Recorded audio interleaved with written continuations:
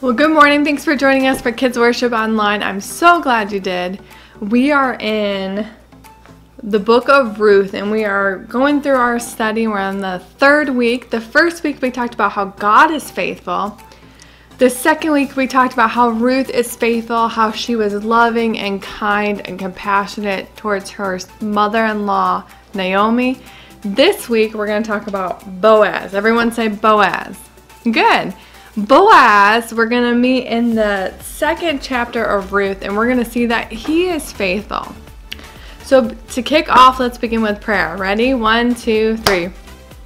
Father, we thank you for this day, for your blessings, for this time together, Lord, as we look at your word and learn how another man was faithful to you. And we want to be faithful. We want to trust you. We want to love others today, Lord, as we continue to navigate this life. We just pray that you would give us the strength to do it and that we would just really enjoy our time with family and friends. We thank you for your blessings. Amen. Okay, so Boaz, we're going to meet in the second chapter. So, as you know, Ruth and Naomi have traveled back home to Bethlehem or back home to Naomi's home, right? And Ruth and Naomi are kind of finding themselves in a difficult spot they can't just like go and get a job or go and buy a house. They kind of have to rely on other people to kind of help them. So Ruth goes out to a field and she is going to go behind the workers and harvest the leftovers and then she'll take that home. If she doesn't do that, then they are not going to have food and they'll starve.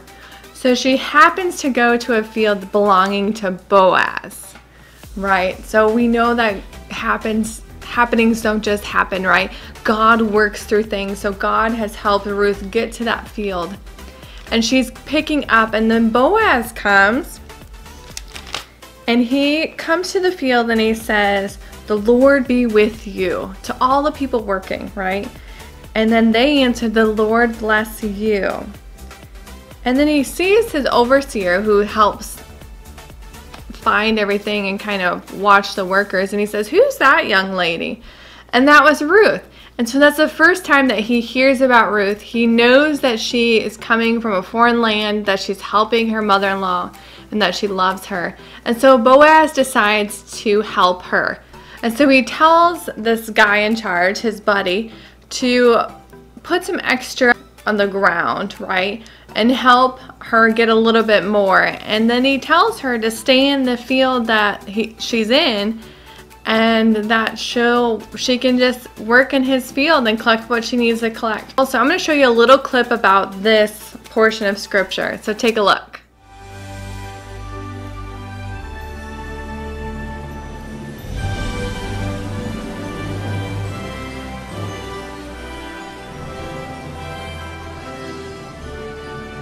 Be with you. The Lord be with you. May the Lord, Lord bless, bless you. It seems that Israel's famine has finally ended, Natan. Uh, not everyone has recovered, Boaz. Many people have come to glean from us this year. God has blessed us with more barley than we need. Should we not share that blessing with our neighbors? Yes. And the wheat is nearly ripe. We'll be harvesting that soon as well. Natan, who's that young woman over there? Ah, she is the young Moabite woman who came back with Naomi. I think her name is Ruth. So that is Ruth. Natan, let her gather grain among the sheaves.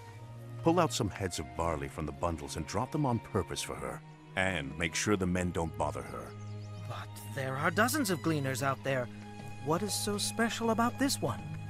Do as I asked. And don't give her a hard time. Her life has been difficult enough.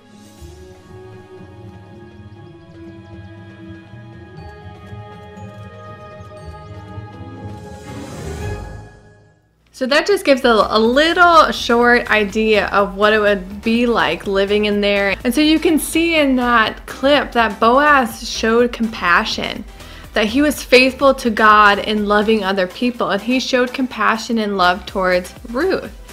And it's a perfect example of how God works through people. So here's a man, he has these fields, he's probably pretty wealthy, and he steps in and he helps someone that doesn't have much. And next week, we're going to see the end of the story. We're going to see the conclusion with three chapters three and four about how the whole story wrapped up, and we're going to see how God's faithfulness to Ruth and Boaz leads to a legacy. So take some time as a family to you know go through your reading plan. You just read a little bit each day and you'll get through the whole chapter the whole book which is only four chapters. And do the discussion guide take some time to do some games together. Have fun as a family. Enjoy the weather. And just think about how boaz is faithful and and fulfilled what god was calling him to do and how we can be faithful too and live out the calling that God has called us. Maybe that's being nice to a neighbor that's not so nice, or maybe that's calling someone on the phone that you haven't talked to in a while.